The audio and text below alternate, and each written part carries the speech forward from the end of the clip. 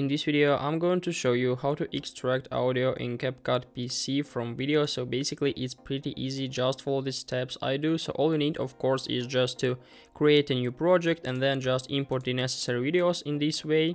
So when you have them, all you need to extract the audio from this video is just to uh, drag and drop it on the our timeline so just put it right up here.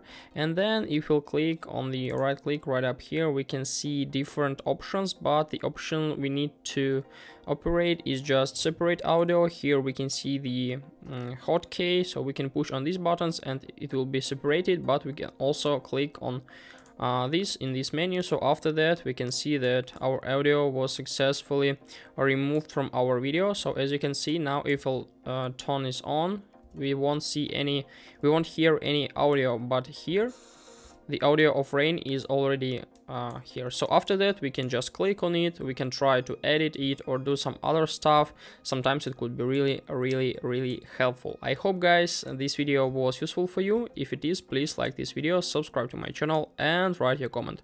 Also suggest you to watch another videos about CapCut PC goodbye